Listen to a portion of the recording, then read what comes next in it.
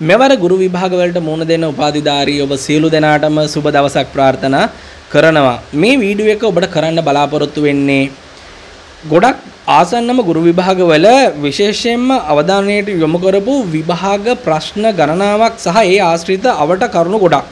ඒ නිසා මේක ඔබ තැන් තැන් වලින් පාඩම් කරලා වෙන්න පුළුවන්. ඒ වගේම ඔබට මෙවුවා සමහර දේවල් අහු උනේ නෑ වෙන්න පුළුවන්. ඒ නිසා විසිරීලා තිබ්බ කාරණා ගොඩක් එක තැනකදී ඔබත් එක්ක පොදුවේ කතා කරන්න මම මේ වීඩියෝ එකෙන් බලාපොරොත්තු වෙනවා. විවිධ ප්‍රශ්න ඔස්සේ තමයි මම ඔබත් එක්ක මේ දේවල් කතා කරන්නේ. ඒ නිසා මේ වීඩියෝ එකේ අවසාන වෙනකම්ම බලන්න ආසන්නයේම ලියන ඔබේ ගුරු විභාගයට මේක අතිශයින් වැදගත් වෙයි කියලා මම බලාපොරොත්තු වෙනවා. හරි එහෙනම් ගොඩක් කතා නැතුව අපි ඉක්මනටම අපේ මේ කාරණාවලට ඇතුළත් වෙමු. කාරණාවලට ඇතුළත් වීමේදී මම ඔබත් එක්ක මුලින්ම කතා කරන්න අදහස් කරන්නේ ශ්‍රී ලංකාවේ රජයේ පාසල්වල ප්‍රාථමික අවධියේදී ඉගැන්වීමේ මාධ්‍ය වශයෙන් භාවිතා කරන භාෂාවන් මොනවද කියන කාරණාව. එහිදී භාෂාවන් තියෙනවා සිංහල හෝ දෙමළ කියන භාෂාවන්. මේ භාෂාවන් වලින් තමයි රජයේ ප්‍රාථමික අවධියේදී ඉගැන්වීම් මාධ්‍ය ලෙස පාවිච්චි කරන්නේ. ඒ වගේම ඔබ මතක තියාගන්න ඕනේ අපිට ආයතන සංග්‍රහය ඇතුලේ ඒ වගේම අපි රාජ්‍ය නිලධාරීන් විදිහටත් ඔබ ගුරුවරු විදිහට බැඳෙද්දි අපි යම්කිසි කාරණාවකට යටත් වෙනවා. මේ කාරණාව ගොඩක් ප්‍රශ්නවල පහුගිය කාලේ විවිධ ශේෂ්ත්‍රවල විභාගවලට යොමු කරලා තිබුණා. ඉතින් ඔබට ගුරුවරයෙක් විදිහටත් ඔබට මේ ප්‍රකාශය ඔබට අදාළ වෙනවා. එතකොට මේ ප්‍රකාශය මොන වගේ දෙයක්ද කියලා පොඩ්ඩක් බලන්න. නිවාඩු ගුරුවරයෙකුගේ අයිතිවාසිකමක්ද වරප්‍රසාදයක්ද මෙන්න මේ කියන කාරණාව. නිවාඩු ගුරුවරු ගුරුවරයෙකුගේ අයිතිවාසිකමක්ද? වරප්‍රසාදයක්ද? මේක රාජ්‍ය නිලධාරීන්ට අදාළ වෙන එකක්. මේක ඇවිල්ලා වරප්‍රසාදයක්. ඔබට එහෙනම් හදිසිය හරි අයිතිවාසිකමක් කියලා ගහන්න එපා. අපිට අයිතිවාසිකම් නෙමෙයි. මේක වරප්‍රසාදයක් විදිහට තමයි නිවාඩු දීලා තියෙන්නේ. ඒ වගේම තමයි ස්ථාන මාරුවීම් හිමි රාජ්‍ය සේවාවන් සම්බන්ධයෙන් රාජ්‍ය සේවකයෙකුට එක් රාජකාරී ස්ථානයක රැඳෙන්න පුළුවන් උපරිම කාල සීමාවක් තියෙනවා. මේ කාල සීමාව කොච්චරද කියලා ඇහුවොත් අපි දෙන්න ඕනේ උත්තරේ තමයි අවුරුදු 5ක්. අවුරුදු 5ක් තමයි ස්ථාන මාරුවීම් හිමි රාජ්‍ය සේවාවන් වල නිලධාරියෙක්ට එක් ස්ථානයක රාජකාරී කරන්න පුළුවන් කාලය. ඒ වගේම තමයි රජයේ මෑතකදී අරන් තියෙනවා මෙන්න මෙහෙම ප්‍රතිපත්තියක්. ඒ තමයි අනිවාර්යයෙන්ම ළමෙක් පාසලේ මෙච්චර අවුරුදු ගාණක් ඉන්න ඕනේ කියන කතාව. එතකොට මේ අවුරුදු ගාණ මොකද්ද කියලා ඇහුවොත් අවුරුදු 5 සිට 16 දක්වා පරාසය තමයි රජය තීරණය කරලා තියෙන පරාසය. ඒ වගේම අපිට නිතර නිතර හම් වෙනවා මෙන්න මෙහෙම කාරණාවක්. පාසල් සංවර්ධන සමිතිය කියලා එකක්. එතකොට මේකකදී සමාජිකත්වයේ ගද්දී සමාජික ගාස්තු රහිතව ඉන්න පුළුවන් අය කවුද? එහිදී මම ඔබට මෙන්න මෙහෙම තනතුරු කිහිපයක් කියන්නම්. මේ තනතුරු ටික කියන්නේ මේක එහි ප්‍රමුඛතම තනතුරු නිසා. එකක් විදුහල්පති. අනික පාසලේ ඒ මොහොතේ සේවය කරන ගුරු බවතුන්. ඒ වගේම තමයි කලාපන කලාප අධ්‍යාපන අධ්‍යක්ෂ හෝ ඔහුගේ හෝ ඒ අයගේ නියෝජිතවරයා. ඒ තනතුරේ නියෝජිතවරයා. ඒගොල්ලන්ට මේ පාසල් සංවර්ධන සමිතියක සමාජිකත්වය සඳහා මේ සමාජික ගාස්තු නොගෙවයින්න පුළුවන්. ඒ වගේම තමයි ද්විතීක පාසල් සිසුන්ට සිය හැකියාවන් හා රැකියා වෙළඳපොලේ ඇති අවස්ථා අවබෝධ කරගන්න උපකාරී වන පාසල් වල ක්‍රියාත්මක වෙච්ච වැඩසටහන මේ වැඩසටහන් සම්බන්ධයෙන් ගොඩක් අවධානය යොමු කරා. මෑතකදීම මේ සම්බන්ධයෙන් ලොකු අවධානයක් යොමු කරපු දෙයක් තමයි මේක. ඒක තමයි මේ වැඩසටහන තමයි වෘත්තීය මාර්ගෝපදේශය. මොකද්ද වෘත්තීය මාර්ගෝපදේශය? අතිශයින්ම වැදගත්. ඒක මම ඔබව තව තැනකට අරගෙන යන්නම් මම ඔබ වෙනුවෙන් ගොඩක් තෝරගත්ත. ඒක තමයි දැන් අපි මෙහෙම කියමුකෝ. පළාත් සභා පාසල් නමින් පාසල් වර්ගයක් ඇති වුණේ මොන වර්ෂයේ කළ ආණ්ඩුක්‍රම ප්‍රතිසංස්කරණයක් යටතේද? පළාත් සභා පාසල් නමින්. එහෙම ඇති වුණේ 1987 සිදු කරපු ආණ්ඩුක්‍රම ප්‍රතිසංස්කරණයක් යටතේ තමයි උනේ. ඒ වගේම පළාත් සභාවක දැන් ඔබ ගොඩක් මේ මේ පළාත් සභා පළාත් සභා කියන කතාව කියවෙන්නේ. ඔබ ගොඩක් අය මේ වෙද්දි මුණ දෙන විභාග තමයි පළාත් සභා විභාග. එතකොට පළාත් සභාව සම්බන්ධයෙන්ුත් එතකොට ඔබට කෙලින්ම ඔබේ ඍජු තනතුරු අධීක්ෂණය වෙන පාලනය වෙන තැනක් තියෙනවා. ඒ සම්බන්ධයෙන්ුත් යම්කිසි පරිපාලනමය දැනුමක් පරිපාලනමය ව්‍යුහය සම්බන්ධ දැනුමක් ඔබට තියෙන්න ඕනේ. එතකොට තමයි ඔබගේ ඔබ ඒ තනතුරට සුදුසුයි ඒ වගේම ඔබ ඒ සම්බන්ධයෙන් දැනුවත් කෙනෙක් කියලා පේපර් එක ඇතුලේ ඔබ ලකුණු ගද්දී ඒ අයට හැඟෙන්නේ. එතකොට තමයි ඔබ ඉහළට යන්න. ඔබ තේරෙන්න තියෙන ඉඩකඩ වැඩි වෙන්නේ. එතකොට මේ ප්‍රශ්නයත් අපි එහෙම අවධානය යොමු කරන ප්‍රශ්නයක්. මොකද මං කිව්වේ පළාත් සභාවක ජනාධිපතිවරයාගේ නියෝජිතයා වන විධායක නිලධාරියා කවුද? ඒ නිලධාරියා තමයි පළාත් ආණ්ඩුකාරවරයා. ජනාධිපතිවරයාගේ නියෝජිතයා. පළාත් ආණ්ඩුකාරවරයා. ඒ වගේම පළාත් සභාවට අයිති පාසලක් ජාතික පාසලක් විදිහට උසස් කරනු ලබන්නේ කවුද? මේ කාරණාවට අපිට හොඳ උත්තරයක් දෙන්න පුළුවන්. ඒ තමයි මධ්‍යම අධ්‍යාපන අමාත්‍යාංශයේ අධ්‍යාපන ඇමතිවරයා විසින් තමයි පළාත් සභාවට අයිති පාසලක් ජාතික පාසලක් විදිහට උසස් කරනු ලබන්නේ. එකත් වැදගත් එකක්. ඒ වගේම පළාත් සභා පාසල් වල ගුරුවරුන්ගේ පෞද්ගලික ලිපිගොනු කොහෙද පවත්වාගෙන යන්නේ? මම මේක වීඩියෝ කීපයක කතා කරා. ඒකට කතා කරන්න හේතු උනේ මේක ගොඩක් අය වරද්දා ගන්න තරක් හින්දා. ඒක අනිවාර්යයෙන්ම තියෙන්නේ කලාප අධ්‍යාපන කාර්යාලයේ. ඒක අමතක කරන්න එපා. ගොඩක් අය ඕක නැත්තම් අවුල් කරගන්න දෙයක්. ඒ වගේම තමයි කලාපයක පිහිටි ගුරු මධ්‍යස්ථානයක ප්‍රධානියා වශයෙන් පත් කරන්න ඕනේ කොයි වගේ කෙනෙක්ද? ඒ තමයි ගුරු අධ්‍යාපනඥ සේවයේ නිලධාරියෙක්. හොඳට මතක තියාගන්න. ගුරු මධ්‍යස්ථානයක ප්‍රධානියා විදිහට පත් කරන්නේ ගුරු අධ්‍යාපනඥ සේවයේ නිලධාරියෙක්. කලාපයක පිහිටි ගුරු මධ්‍යස්ථානයක. ඒ වගේම තමයි ළමයෙකු පාසලට ඇතුළත් කිරීමේදී සාමාන්‍යයෙන් අත්‍යවශ්‍ය වන ලේඛනයක් අත්‍යවශ්‍යම ලේඛනයක් විදිහට ගොඩක් ප්‍රශ්න අහලා තියෙනවා. එතකොට මේකෙදී අර මෙන්න මේ උත්තරේ දුන්නොත් ඒක තමයි ප්‍රමුඛම උත්තරේ වෙන්නේ. ඒ තමයි ළමයාගේ උප්පැන්න සහතිකේ. ඒක ප්‍රමුඛම ලේඛනේ. ඒක අත්‍යවශ්‍යයි. ඒ නිසා ඔබට තෝරගන්න ප්‍රශ්නයක් ආවොත් ඔබට අනිවාර්යයෙන්ම මේ පිළිතුරට මේ පිළිතුර කියලා උත්තරේ සපයන්න. ඒ වගේම තමයි පාසල් සංවර්ධන සමිතියක් සම්බන්ධයෙන් අපි හිතමුකෝ ප්‍රශ්නයක අහන්න පුළුවන් කොයි කෙනාටද අහිමි වෙන්නේ පාසල් සංවර්ධන සමිතියේ සමාජිකත්වය. ඔබ බලන්න විශ්‍රාම ලබලා ඉවත් වෙලා යන ගුරුවරුන්ට මේක නැති වෙනවා. ඒ වගේම ඔබ බලන්න සමහර වෙලාවට දැන් මේක හිමිකම තියෙන්නේ මේ පාසලේ එවකට ඉන්න ගුරුවරුන්ට.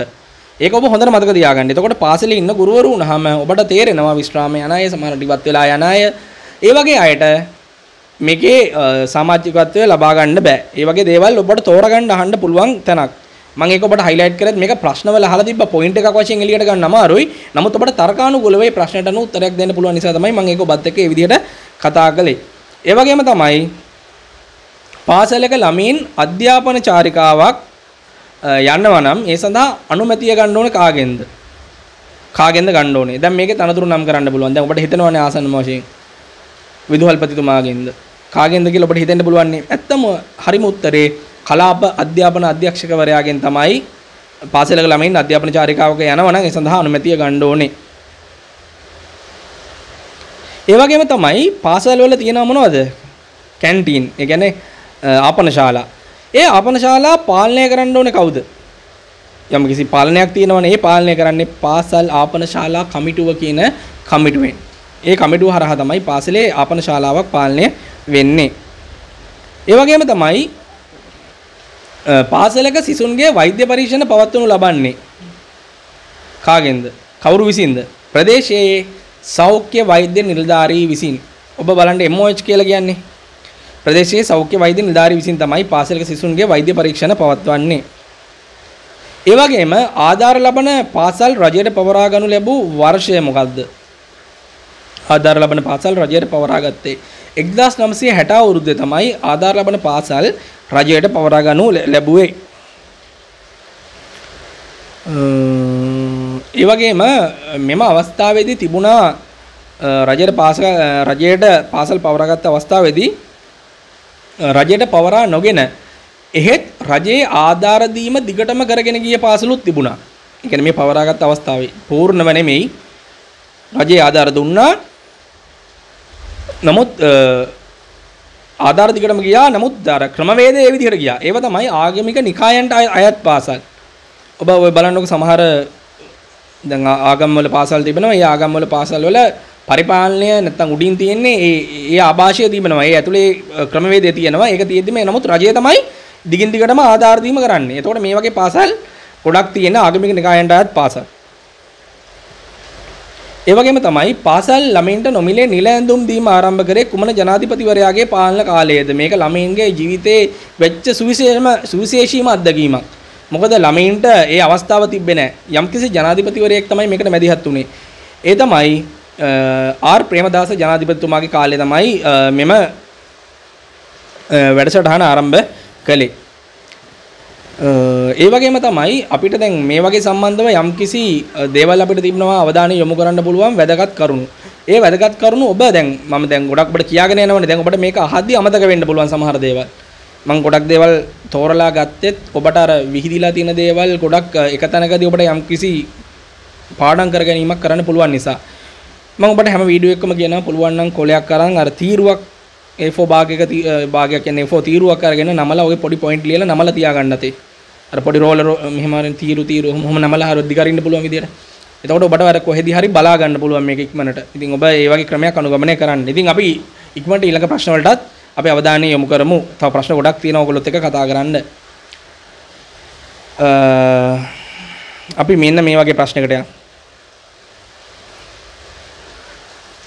නිදහස් අධ්‍යාපන පනත සම්මත වුණේ මොන අවුරුද්දේද? හොඳ ප්‍රශ්නයක්. නිදහස් අධ්‍යාපනද සම්මත වුණේ 1947 දී තමයි නිදහස් අධ්‍යාපන පනත සම්මත වුණේ. ඒ වගේම තමයි පහසුකම් හා සේවා ගාස්තු වශයෙන් ශිෂ්‍යයෙකුගෙන් මාසෙකට අය කරගත හැකි උපරිම මුදල කීයද?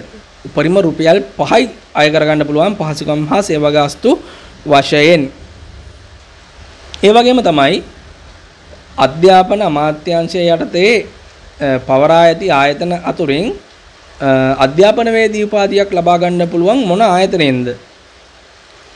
ඒ තමයි ජාතික අධ්‍යාපන ආයතනයෙන් ඔබත් ඔබට තෝරගන්න ප්‍රශ්නේදී මේක අනිවාර්යයෙන්ම ඔබනවා ඇතුළට උත්තර වලට.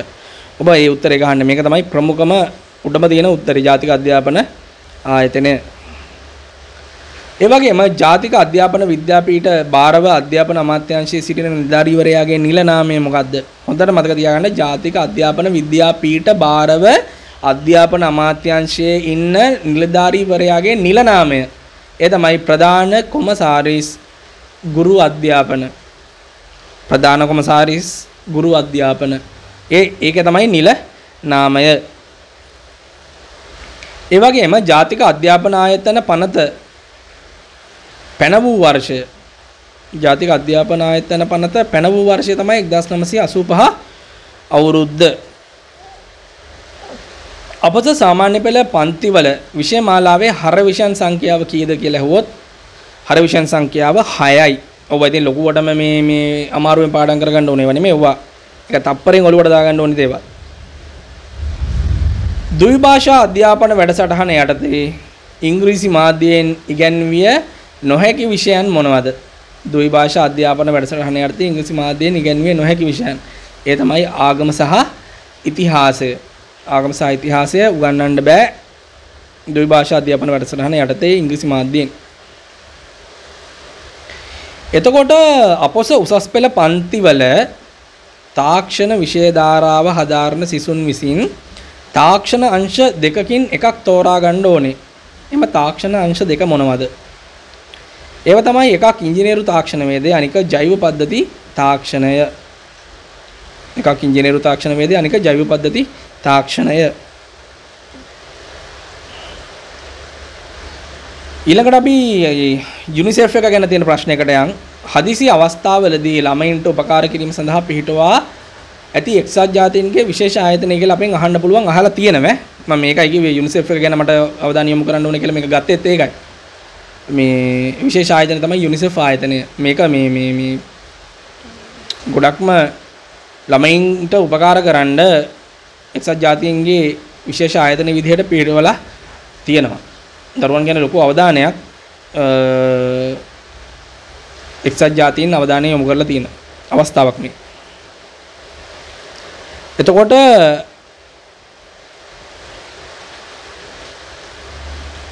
තව මට හිතෙනවා දැන් ප්‍රශ්න ගොඩක් තව තියෙනවා ඔබත් එක්ක කතා කරන්න.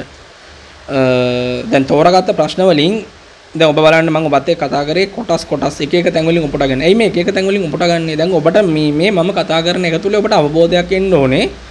එහෙනම් මෙන්න මේ වගේ ශේස්ත්‍රයන් ඔස්සේ තමයි ප්‍රශ්න ආවරණය වෙන්නේ කියලා. නැත්තම් ඔබ එක ලිස්ට් එකක් පාඩම් කරනවා. තව ලිස්ට් එකක් පාඩම් කරනවා. මම ඔබට ඒ වගේ වීඩියෝ කීපයක් ගෙනව සහ ගේනවා. ඔබ එහෙමත් පාඩම් කරන්න. ඒ අතරේ මේ වගේ එකක් කරන්නේ මේ තැන් තැන් වල තියෙන දේවල් ගැන ඔබට අවබෝධයක් එන්න ඕනේ. තවත් මම පාඩම් කරේ නැත්තේ මොනවද? ඔබට ඒ අවබෝධය ආවේ නැත්තම් ඔබට උත්තර ලියා ගන්න බැරි වෙනවා. දැන් ඔබ පොඩි කාලේ උත්තර ලියද්දී ඔබ හිතන්නකෝ පාස් පේපර් එකක් හරි කරේ කරලා ගියේ නැත්තම් අඩුතර මේ මොඩල් පේපර් එකක් හරි කරලා ගියේ නැත්තම් ඔබට ප්‍රශ්න පත්‍රය අවබෝධයක් ගැන එන්නේ නැහනේ. මොකද විෂය කරුණු ගොඩක් ඔළුවේ තියන් ගියා කියලා විභාගෙට ඉඳගත්ත ගමන් ඒකට හරියන ප්‍රශ්න නැහැ. අපි ආකෘතියට අනුව තමයි අපි අර විෂය කරුණු ටික හරි තැනකට අරගෙන යන්න ඕනේ. ඒ නිසා මේ මේ කරන විදිහ ගැන විශේෂයෙන්ම ඔබ මේ උත්තර විතරක් නෙමෙයි ගන්න ඕනේ. මේ ප්‍රශ්න අහන්නේ එහෙනම් මේ මේ වගේ පැති වලින් මේ වගේ විදිහට අහන්නේ. ඒකත් ඔබ තේරුම් මේරුම් කරගන්න මේ වීඩියෝ එක ඇතුලේ. එතකොට ශ්‍රී ලංකාවේ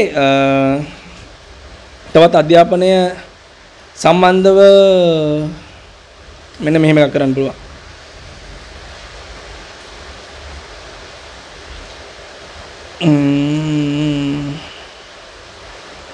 පාසලක මම මෙහෙම කියන්න මෙන්න මේක වැදගත් ප්‍රශ්නයක්. පාසලක සිදුවන වැදගත් දේ පිළිබඳව සටහන් තබා ගන්නා ප්‍රධාන ලේඛනය. ඒක ලොග් පොත. අනිවාර්යයෙන්ම ඔබ අත තියන්න ඕනේ ප්‍රශ්නයක්. ඊළඟට පාසලක අනධ්‍යයන කාර්ය මණ්ඩලය ඇතුළත් වන්නේ ඒ කියන්නේ මෙහෙම කියන්නේ පාසලක අනධ්‍යයන කාර්ය මණ්ඩලයට ඇතුළත් වන්නේ අධ්‍යයන කටයුතු වල නිරත නොවන කාර්ය මණ්ඩලයයි. ඒ කියන්නේ පාසලක් ඇතුළට ගිහපුවම අපිට අධ්‍යයන අනධ්‍යයන කියලා හම්බෙනවනේ. එතකොට අධ්‍යයන කාර්ය මණ්ඩලය කවුද කිව්වොත් අපිට කෙලින්ම ගුරුවරු ඔය වගේ කෙලින්ම අපිට දිශානතිය පෙන්වන්න පුළුවන්. නමුත් අනධ්‍යයන කාර්ය මණ්ඩලයක් මේ ළමයින්ට පේන්නේ නැතුව දෙමෝපියන්ට පේන්නේ නැතුව ඉන්නවා. අන්න ඒ කට්ටිය ඒ කියන්නේ ඒ කට්ටියට තමයි කියන්නේ අනධ්‍යයන කාර්ය මණ්ඩලය. එතකොට මේකට ඇතුල් වෙන්නේ කවුද? අධ්‍යයන කටයුතු වල නිරත නොවන කාර්ය මණ්ඩලය. ඒ කියන්නේ ඒගොල්ලෝ අධ්‍යයන කාර්ය වලට එන්නේ. ඒකයි අනධ්‍යයන කියන නම වැටෙන්නේ. ඒක මට පහදන්න මීට වඩා තේරෙන්නේ නැහැ. ඒක එහෙම තමයි. ඔබ එහෙනම් මේ විදිහට ඔලුවට ගන්න. ජපන් රටේ ආධාරය ඇතිව දකුණු පළාතේ ඉදිකල විද්‍යාපීඨය මොකද්ද? ඒක තමයි නිල්වලා විද්‍යා පීඨය. අපස උසස් පෙළ විභාගයකදී ශිෂ්‍යයෙකු ලබා ගන්නා ලකුණු විශ්වවිද්‍යාල ප්‍රවේශය සඳහා ප්‍රමිත කරනු ලැබේ. හොඳට මතක තියාගන්න මේ ප්‍රශ්නයක් අහපු. එසේ ප්‍රමිති කළ ලකුණු හඳුන්වන්නේ කුමන නමකින්ද? මේක ප්‍රශ්නයක් විදිහටම අහලා තිබ්බා. මම ඒක ඒ විදිහටම ගත්තේ. ඒක අහපු විදිහ ඒ විදිහේ ඉඳලා. එතකොට ඔබ ප්‍රශ්නයේ ආකෘතිය බලන්න. අපස උසස් පෙළ විභාගයේදී ශිෂ්‍යයෙකු ලබා ගන්නා ලකුණු විශ්වවිද්‍යාල ප්‍රවේශය සඳහා ප්‍රමිත කරනු ලැබේ. දැන් මේ කරනවලු. එතකොට එසේම ප්‍රමිති කළ ලකුණු හඳුන්වන්නේ කුමන නමකින්ද? කෙලින්ම ඇවිල්ලා තිබ්බේ නෑ පොඩ්ඩක්. හරි එහෙම ඇවිල්ලා වටෙන් තමයි එන්නේ. ඒකට අපි කියනවා ඉසෙඩ් අගය කියලා. ඉසෙඩ් අගය. ඔබට තේරුම් නැත්නම් පොඩ්ඩක් රිවයින් කරලා ආපහු බලන්න. අධ්‍යාපන අමාත්‍යාංශය මෑතකදී ආරම්භ කළ පාසල් සංවර්ධන වැඩසටහන හඳුන්වන්නේ කුමන නමකින්ද? ඒක තමයි ළඟම පාසල හොඳම පාසල 2016 අවුරුද්දේ තමයි මේ වැඩසටහන හඳුන්වලා දුන්නේ. තාක්ෂණ වේදය සම්බන්ධයෙන් පමණක් උපාධි පිරිනැමීම සඳහා පිටුවා ඇති විශ්වවිද්‍යාලය මේක අතිශයින් වැදගත්. ඒක තියෙන්නේ තාක්ෂණ වේදය සම්බන්ධයෙන් පමණක් උපාධි පිරිනවන්න. ඒ තමයි වෘත්තීය තාක්ෂණ විශ්වවිද්‍යාලය. වෘත්තීය තාක්ෂණ විශ්වවිද්‍යාලය. ශ්‍රී ලංකාවේ පුස්තකාලවල පොත් වර්ගීකරණය කිරීම සඳහා භාවිතා කරන අගය කිරීමේ ක්‍රමය හඳුන්වා හඳුන්වා දුන්නේ කුමන නම නමින්ද මේකත් පහුගිය විභාග ප්‍රශ්නයක් ශ්‍රී ලංකාවේ පුස්තකාලවල පොත් වර්ගීකරණය කිරීම සඳහා භාවිතා කරන අගය කිරීමේ ක්‍රමය හඳුන්වා දුන්නේ කුමන නමින්ද? ඒක තමයි ඩිවි දශම වර්ගීකරණය. ඩිවි දශම වර්ගීකරණයකට අපි කියනවා ඩිවි ඩෙසිමල් සිස්ටම් කියලා. ඩිවි ඩෙසිමල් සිස්ටම් කියන සිස්ටම් එක නැත්නම් ඒ වර්ගීකරණය තමයි හඳුන්වලා දුන්නේ. ඒ වගේම ශ්‍රී ලංකාවේ උසස් ජාතික ඩිප්ලෝමා පාඨමාලා පවත්වන කාර්මික අධ්‍යාපන ආයතන භාරව කටයුතු කරන ජාතික මට්ටමේ ආයතනය මොකක්ද? අය පාරක් ප්‍රශ්න කියන්නම් ශ්‍රී ලංකාවේ උසස් ජාතික ඩිප්ලෝමා පාඨමාලා පවත්වන කාර්මික අධ්‍යාපන ආයතන භාරව කටයුතු කරන ජාතික මට්ටමේ ආයතනය මොකක්ද? ඒක තමයි තෘතීක හා වෘත්තීය අධ්‍යාපන කොමිෂන් සභාව. තෘතීක හා වෘත්තීය අධ්‍යාපන කොමිෂන් සභාව පාකිස්තානයේ කුඩා දැරියක් මේකත් ප්‍රශ්නයක් කලින් ඈ පාකිස්තානයේ කුඩා දැරියක් රටේ බාලිකාවන්ගේ අධ්‍යාපනය වෙනුවෙන් කැපවීම නිසා අන්තවාදීන්ගේ උදහසට ලක් වුණා. එහෙත් ඇය වෙනත් රටකට ගොස් තම අධිෂ්ඨානය ඉටු කර ගැනීමට කටයුතු කළ නිසා ඇයට නොබෙල් ත්‍යාගය පවා හිමි වුණා. ඇගේ නම මලාලා යුසෆ්සායි මලාලා යුසෆ්සායි ඇගේ කතාව කියවන්න. ඉන්ටර්නෙට් එක ඔබ ගහලා බලන්නකො මලාලා යුසෆ්සායි හරි ලස්සන කතාවක්. පොඩි දරුවෙක් කාලේ ඉඳන් ඇයට විඳින්න වෙච්ච පීඩන ඒ වගේම ඇය මේක පරද්දගෙන ඇගේ ජීවිතේ යම් තැනකට ගිහිල්ලා මේ Tamanට ලබන්න බැරි Tamanට අර තහනම් වෙච්ච පොඩි කාලේ අධ්‍යාපනය කොහොම හරි මේක ස්ථාපිත කරනවා කියන අරමුණත් එක්ක ගිහිල්ලා තමන්ගේ වැඩේ සම්පූර්ණ කරපු අති විශිෂ්ට කාන්තාවක් විදිහට මේ මලාලා යුසප් සායි හඳුන්වන්න පුළුවන්. ඒ නිසා ඔබ මේ සම්බන්ධයෙන් මේ පුළුවන් නම් වෙනම කියවගෙන යන්න ඒක එච්චරට මධ්‍යයන කළ යුතු චරිතයක් තමයි අය. එතකොට ඔබට තව කතා කරන්න පුළුවන් පාසල් කළමනාකරණයේදී පාසල් ප්‍රජාව සම්බන්ධ කර ගැනීම සඳහා අධ්‍යාපන අමාත්‍යාංශය විසින් ආරම්භ කළ ඇති වැඩසටහන මොකක්ද? මම කියව ටිකක් වේග වැඩි නම් පාසල් කළමනාකරණයේදී පාසල් ප්‍රජාව සම්බන්ධ කර ගැනීම සඳහා අධ්‍යාපන අමාත්‍යාංශය විසින් ආරම්භ කර ඇති වැඩසටහන. ඒ වැඩසටහන තමයි පාසල් නගා සිටුවීම බලගැන්වීමේ වැඩසටහන. පාසල් නගා සිටුවීම බලගැන්වීමේ වැඩසටහන. ඊළඟ එක තමයි මෙරට බාලදක්ෂයෙකුට ලබාගත හැකි ඉහළිම සම්මානය මොකක්ද? බාලදක්ෂයෙක් පුහුණු කරන්න පටන් ගන්නේ පාසල් ඇතුළේ බාහිර ක්‍රියාකාරකමක් විදිහට. ඔබ මේක ගැන අවබෝධයක් ගන්න. මේ බාලදක්ෂයෙක්ට ගන්න පුළුවන් ඉහළම සම්මානය තමයි ජනාධිපති බාලදක්ෂ සම්මාන. ජනාධිපති බාලදක්ෂ සම්මානය. ඉතින් මේ වගේ විශේෂ කරුණු ගොඩක් තියෙනවා. තව මම හිතනවා මේ මේ මේ වීඩියෝ එකට ඇති මේ තව ගොඩක් තියෙන ඔබත් එක්ක කතා කරන්න. ඉතින් ඒ ටිකත් මම ඊළඟ වීඩියෝ එකකදී ගේන්නම්. ඊළඟ වීඩියෝ එකෙන් ගේන්නම්. ඔබ subscribe කරලා තියාගන්න. එතකොට මේක මේ විශේෂයෙන්ම subscribe කරන්න කියන්නේ මට සබස්ක්‍රයිබර්ස්ලා ගොඩක් එකතු කරගන්නම නෙමෙයි කරන අය කරනවා ඔබට මේ මේ වගේ විදිහට ප්‍රශ්න ටික හැමතැනම හම්බෙන්නේ නැහැ කියලා මම දන්නවා. මොකද එක තැනකට ගොනු වෙන්නේ නැහැ. කොයි විදිහට ප්‍රශ්න අහන්නේ කියලා තේරෙන්නේ නැහැ. මේ පාස් පේපර්ස් වල අහපු දේවල් සහ ඒකට ගොඩක්ම ඉලක්කගත කරපු කාරණා ටිකක් තමයි මම තැන් තැන් වලින් ඔබත් එක්ක කතා කරේ. ඉතින් මේක තව තියෙනවා වීඩියෝ කීපයක්. ඒවත් බලන්න ඉක්මනට subscribe කරලා තියාගන්න. ඔබ විශේෂයෙන්ම ඔබේ WhatsApp group වල share කරන්න. එතකොට තමයි channel එකත් reach වෙලා ඔබට අගාලා වීඩියෝ එක එන්නේ. ඒ වගේම notification ගන්න. ඔබ අර subscribe එක බටන් එකත් එක තියෙන bell icon එක click කරලා තියාගන්න notification all කියන එක. ඒතර ඔබට මේකේ notification ආපුවම බලන්නත් පුළුවන්. එහෙනම් නැවත දවසක හමු යමු. මම නැවත දවසක කියන්නේ ගොඩක් කල් ගන්න තියෙනවා. ඊළඟ වීඩියෝ එකකින් අපි හමු වෙමු. ඔබට සුබ දවසක් ප්‍රාර්ථනා කරනවා.